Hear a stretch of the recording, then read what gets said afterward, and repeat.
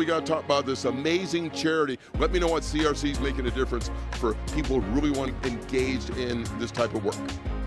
Well, um, we care very much about the next generation. We've Absolutely. seen that there is a shortage of young people getting into the trades, and so we thought uh, we've already have a relationship with Clay and Jeff, and we thought let's team together, do a really fun build. Yes. Let's document it on social so we can see people can see how fun it is to work on cars and how rewarding Yes. it can be.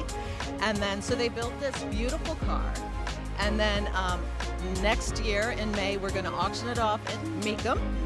And then the proceeds are going to go to the Tech Force Foundation.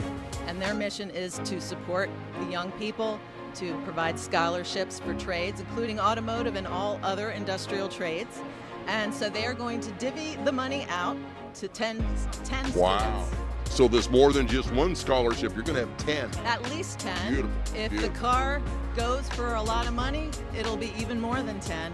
And three of those are guaranteed to go to female technicians. Rocket. I love it. And, and- and Jeff, I got to ask, big town in this industry, you've been around a long time.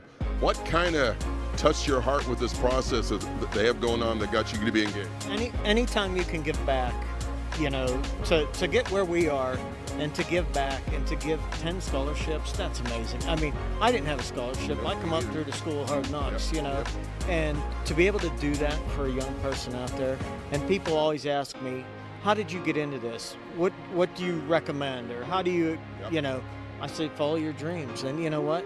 To get a scholarship would be a dream for somebody.